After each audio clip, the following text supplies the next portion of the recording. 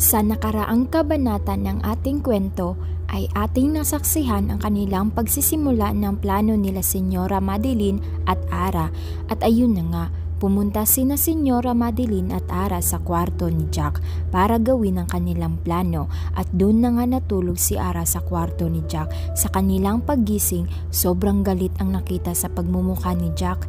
Hindi siya makapaniwala dahil nakahubad sila pareho at walang naalala si Jack sa nangyari. At ito na nga ang kinalabasan sa mga plano ni Senyora Madeline na magpapakasal ang dalawa at ano kayang reaksyon ng mga magulang ni Ara sa maagang pagpapakasal niya? At ano kayang itsura ng kanilang kasal? Maging maganda kaya at masaya ito? Kung bago ka pa lang napadpad sa akin channel ay huwag mo sanang kalimutan mag-subscribe at i-click ang notification bell for more updates sa mga videos ko. Maraming salamat mga katwini. Pakakasalan kita, pero ito ang tandaan mo. I will never ever love you. Pagkasabi ng mga salitang ito'y mabilis na itong lumabas ng silid. Naiwan siyang nakaawa ang labi, parang may sampung kutsilyo ang sumaksak sa puso niya sa mga sinabi nito. Napaisip siya sa kanyang sarili. Saklap naman, malungkot na samit niya, nakasabay ng isang malalim na buntong hininga. At ayun na nga, Natuloy rin ang kanilang kasal. Halos gusto nang lumabas ng puso niya sa kanyang dibdib habang naglalakad patungong altar. Nakita niya ang kanyang mga magulang parehong tumutulo ang luha ng mga ito. Nang malaman ng mga ito nang ikakasal na siya, halos simetayin ang kanyang ina. Hindi niya napigilang tumulo ang kanyang luha. Wala siyang pakialam kahit mabura ang kanyang makeup. Niyakap siya ng kanyang ina, mahagulgol pa rin ito ang kanyang tatay naman pasimpleng nagpahid ng luha bago siya niyakap. Sana'y maging maligaya ka sa buhay may asawa. Lumuluhang sambit ng kanyang ina. Inakay naman siya ng kanyang ama para iabot ang kanyang kamay kay Jack. Blanco ang mukha nitong nakatingin sa kanya. Ingatan mo at mahalin ang anak ko, sambit ng kanyang ama. I will. Malamig na sambit ni Jack. Masarap sanang pakinggan ang sinabi nito kung galing iyon sa puso nito. Pero alam niyang hindi.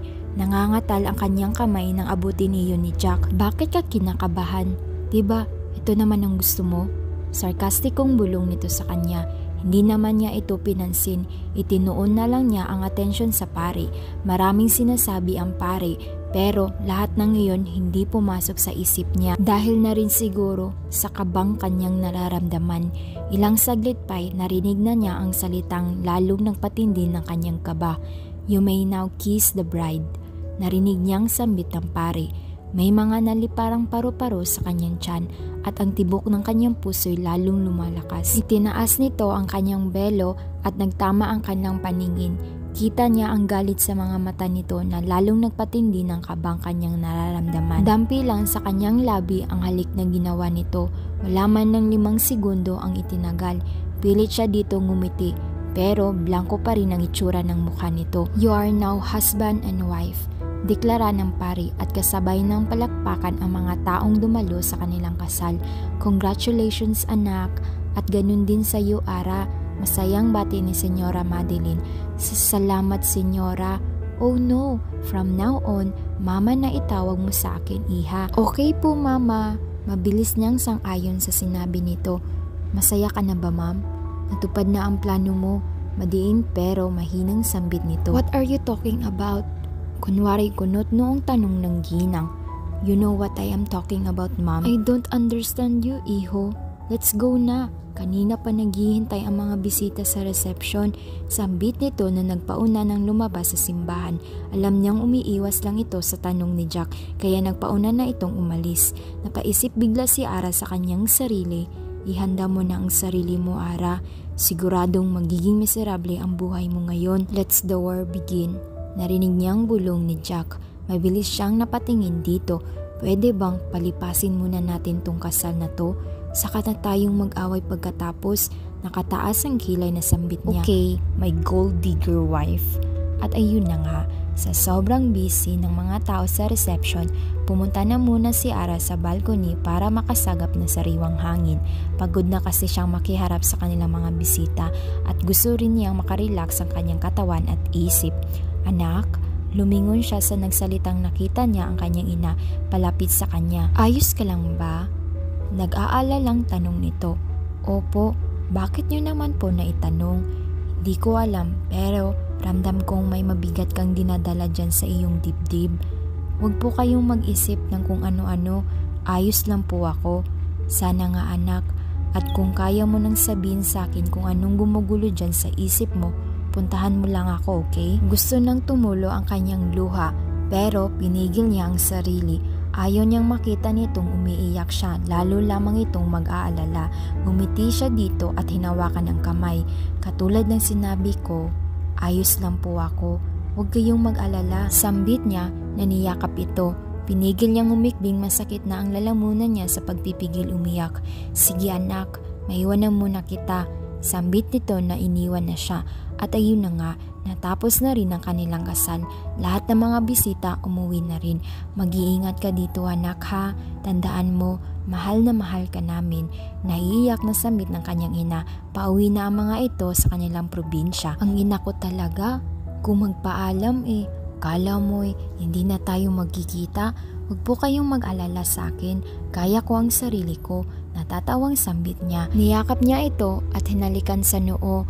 Bumaling naman siya sa kanyang tatay. Niyakap rin niya ito at hinalikan sa pisngi. Kami ate, di mo ba yayakapin? Tanong ni Ana ang kanyang nakakabatang kapatid. Hehe, makakalimutan ko ba naman kayo? Halinga kayong dalawa, sobra ko kayong na-miss.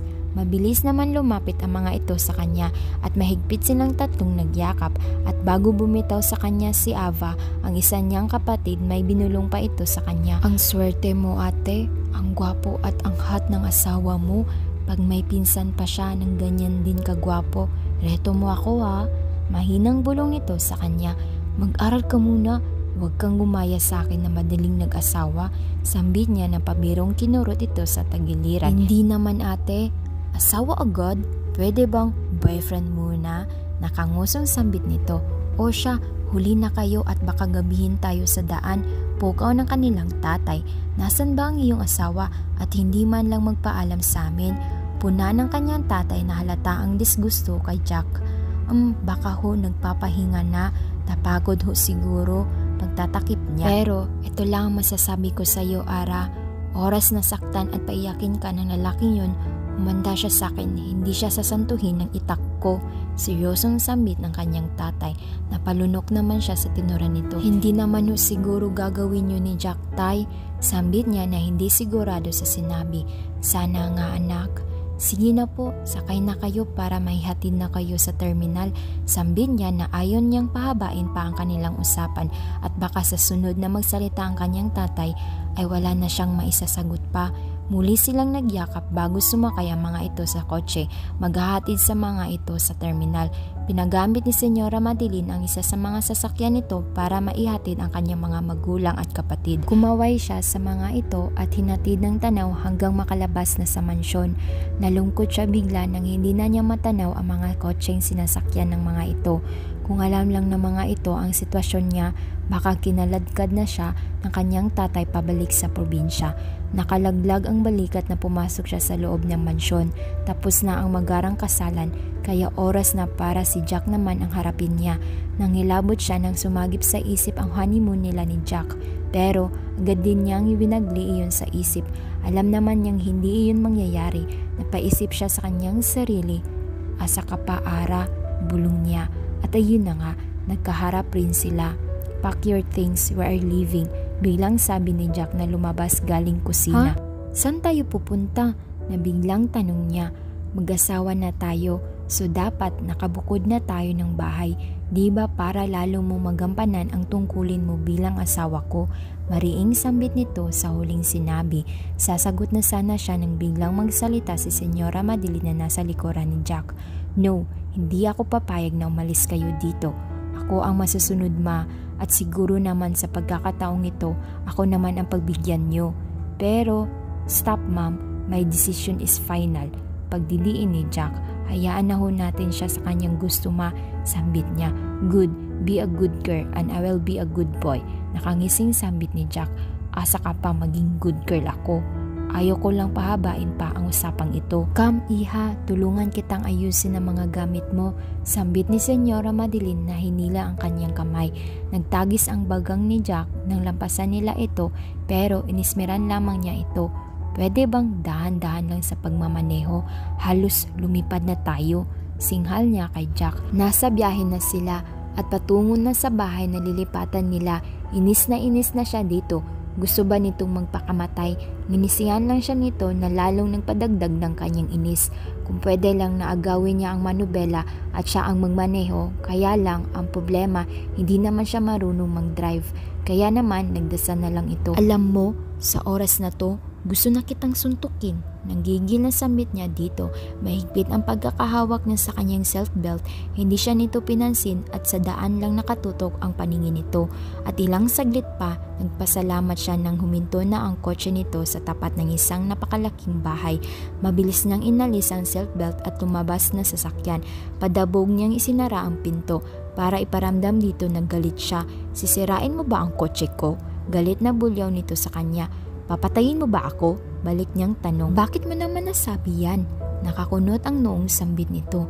Tinatanong mo pa kung magpatakbo ka ng sasakyan mo parang may humahabol sa ating sampung kabayo? Ah, yun ba? Kulang pa yun sa ginawa mo sa akin. At isa pa, hindi ako pumayag na magsama ng maid dahil gusto ko ikaw lahat ang gagawa ng gawaing bahay. Ikaw ang maglalaban ng mga damit ko, magtitimpla ng kape ko sa umaga mamamlan siya, at marami pa.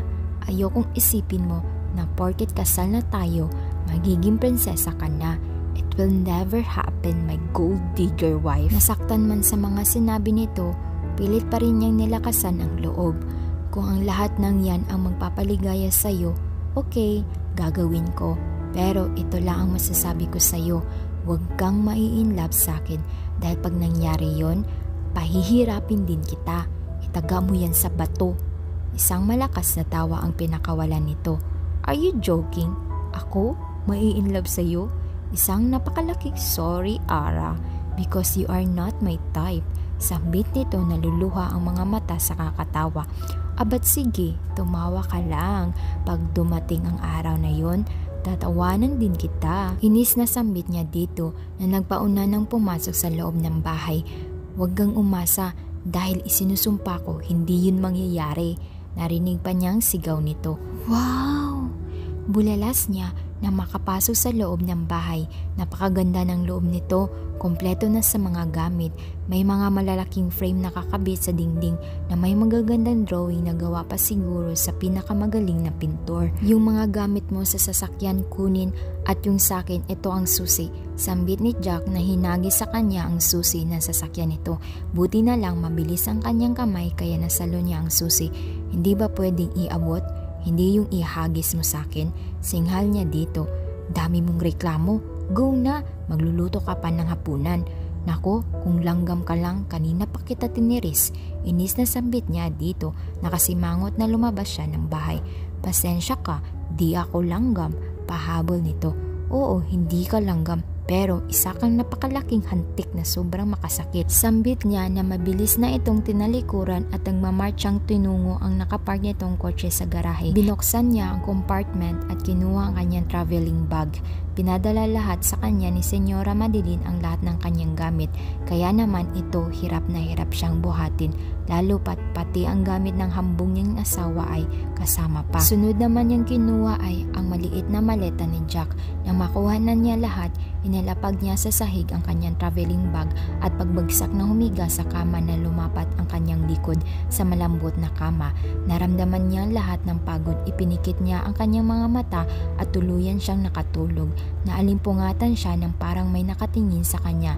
Iminulat niya ang mga mata at laking gulat niya nang makita ang mukha ni Jack na malapit na malapit sa mukha niya. Kaya naman, bigla siyang napabangon na naging dahilan para magkauntugan sila. Ouch! Ano ba? Anong ginagawa mo dito? At, at bakit ang lapit ng mukha mo sa mukha ko? May balak ka bang halikan ako? Inosente niyang tanong. What? Of course not. Gigisingin kita dahil 6pm na hindi ka pa nagluluto ng hapunan. Sambit nito bago na mabilis siyang tinalikuran.